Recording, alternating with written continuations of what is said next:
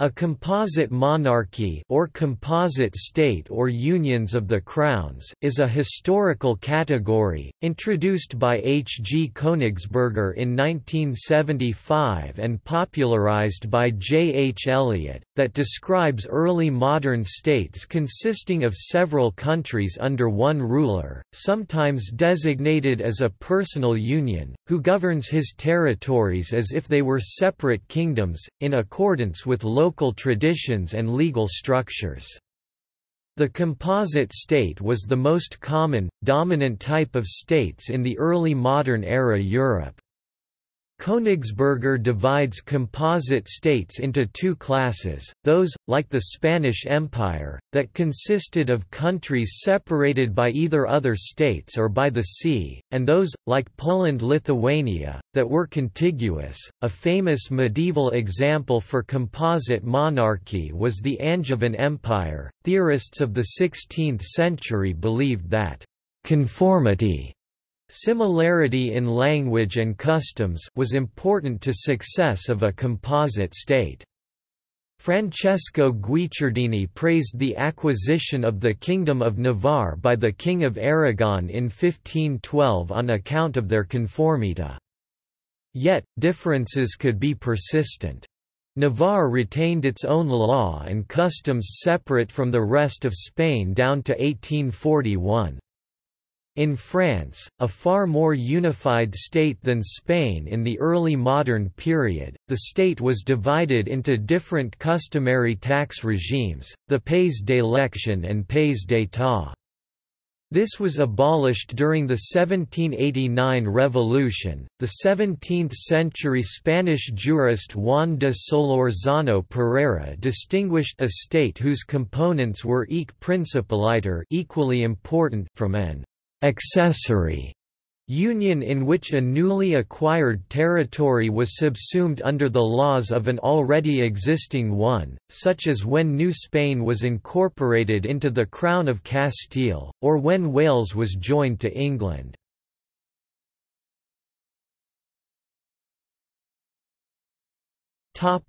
History Composite monarchies were common during the early 15th century to the early to mid-18th century in Europe. A composite monarchy involved the unification of several diverse local territories under one ruler.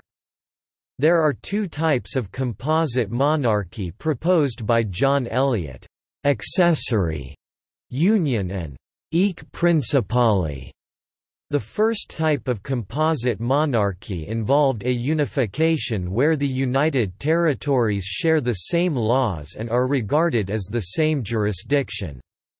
The second arrangement involved the preservation of local customs and power structures. These structures were ruled by a central ruler who either only broadly created state policy with deference to local rule and respect for local religious cultural and political customs, or where there was a more significant central role, negotiated the rules for each territory separately in respect and in consideration of local traditions and customs. In the second approach each territory was governed as though, the king who governs them all were king only of each one of them. This method of rule meant intervention of the central government or ruler was infrequent or allowed diverse customs and legal arrangements to coexist. This allowed classes, ethnicities and traditions to exist peaceably in a larger political unit without significant conflict. The monarch attempted in each case to ensure the guarantee of preserving peace, order and justice, and to care for the poor." Most of Europe during the early modern period was governed under arrangements that can be described as composite monarchies. Diversity in arrangements was essential to ensure the unity of composite kingdoms, as they were often very diverse. Composite monarchies in the early modern period united diverse territories, while in some cases the unification of territories led to the establishment of nation-states in the modern world, in other cases composite territories did not become a unified nation-state. Even in the most unified composite kingdom at the time, France, a majority of subjects did not speak the French language. This demonstrates the extent of diversity even in places considered homogeneous. The Ottoman Empire, the Holy Roman Empire, the crowns of Castile and Aragon, the Kingdom of France, and the Kingdom of England are prominent examples of composite rule.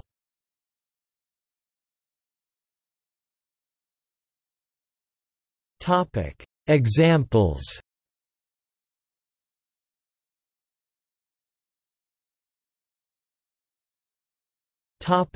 Ottoman Empire Remnants of the Byzantine Empire from Eastern Europe were united under Ottoman Sultan Mehmed II by 1453, and the empire incorporated a vast collection of territories surrounding the Mediterranean. The Ottoman Sultan had succeeded in superimposing the Byzantine Empire with Ottoman rule. Ottoman lands contained a wide variety of cultural legal and religious traditions. The Ottomans maintained an aeque Principali empire where local customs and traditional practices were perpetuated. In many cases, the Ottomans allowed subject peoples including Christians of many denominations and Jews have their own communities where their own particular laws and customs were practiced as a part of the Ottoman whole, which often included separate legal codes for each territory that included the retention of many local customs and traditions. This approach is somewhat similar to the approaches of other composite monarchies except that the Ottoman territories included a much more diverse population. The diversity of the empire was also reflected in the Ottoman ruling class. Unlike most Western European examples, the Ottoman ruling class included a wide variety of people and cultural traditions. Entrance to the Ottoman ruling class was not exclusively by birth, but many other cultural and linguistic traditions were included. The Ottoman Empire's most striking difference with other composite monarchies in Europe was that it allowed religious freedom to a much greater extent than the Europeans did. Religious warfare proliferated in the early modern period especially in the 16th and 17th centuries. The Ottomans did not require that their subjects adhere to the religion of the monarch, a requirement that usually was a major part of composite kingdoms. The Ottoman Empire was extremely diverse and there were relatively few restrictions on activity of minority groups. Christians, Muslims, Jews, Turks, Greeks, Hungarians, Arabs, Armenians, Kurds, guildsmen, bureaucrats and slaves were free to work and live throughout the empire. This level of religious freedom was largely alien to the rest of Europe during the early modern period.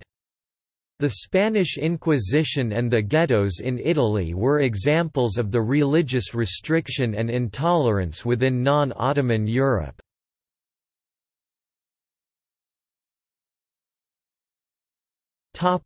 Spanish monarchy Early modern Spain was an example of a composite monarchy based on the aeque Principali approach. The Spanish approach involved separate administrative and taxation arrangements for each territory.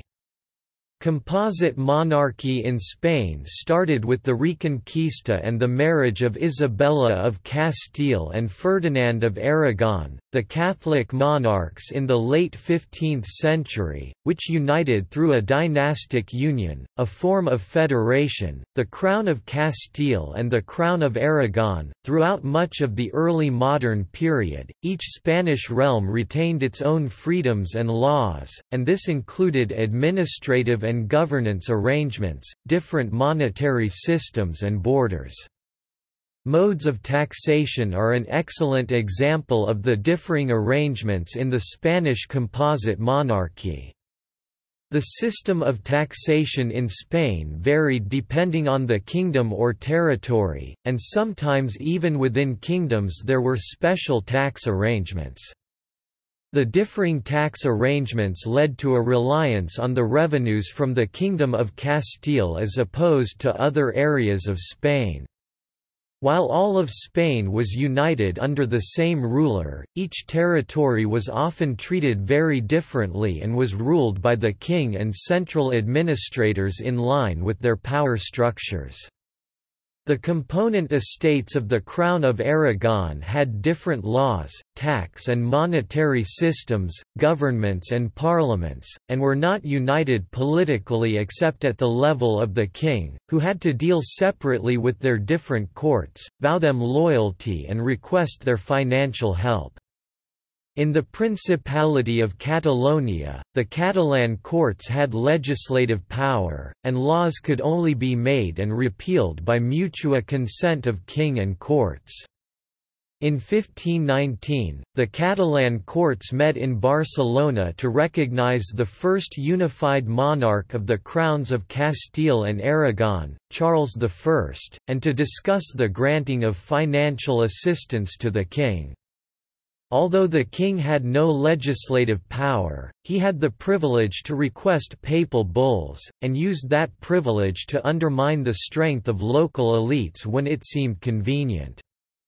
For example, in the case of the petitions of papal bulls against hoarding to favor popular classes, the king took opposed decisions regarding the Principality of Catalonia and the Kingdom of Aragon.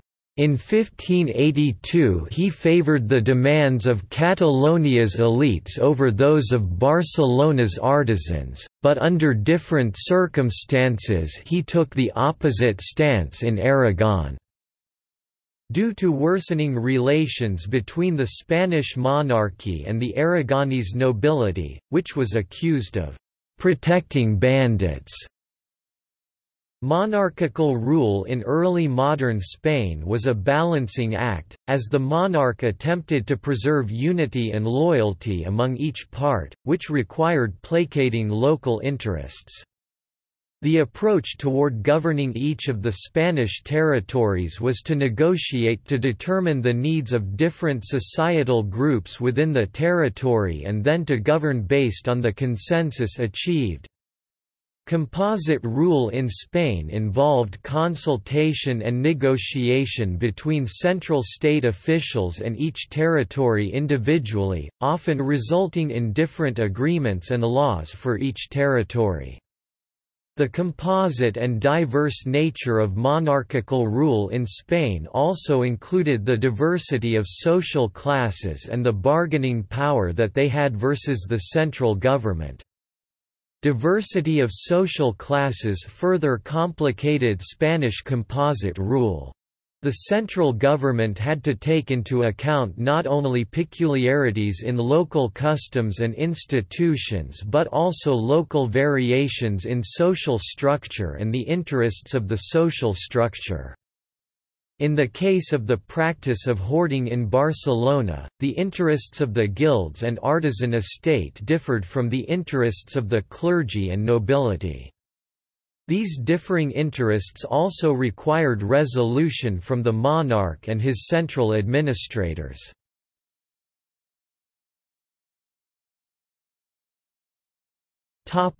England, Wales, Ireland and Scotland The early modern predecessors of the United Kingdom England and Wales, Ireland and later including Scotland included both an accessory union and aeque principale union. The union between England and Wales was an accessory union. English rules and laws were granted to Wales in the Acts of Union of 1536 and 1543, and Wales was thus absorbed into the Kingdom of England. The Lordship and later Kingdom of Ireland were ruled separately in a personal union with the Kingdom of England and Scotland after 1603, Great Britain after 1707 until they were legally united by the Acts of Union 1800, forming the United Kingdom of Great Britain and Ireland. Ireland retained its own legal system, which continues today as Northern Irish law.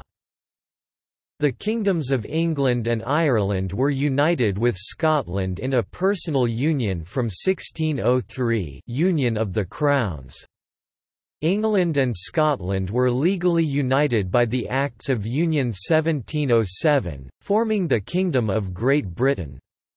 However, this union preserved institutions, customs and legal traditions peculiar to Scotland.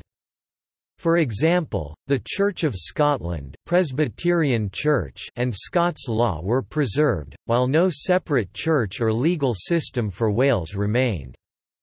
England and Wales integrated, while Scotland retained many of its unique institutions and traditions.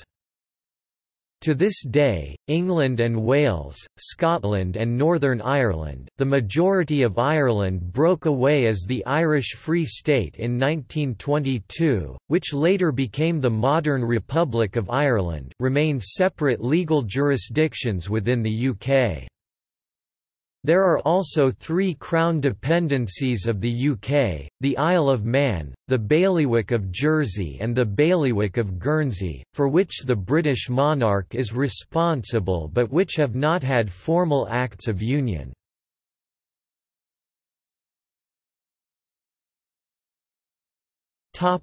See also Personal union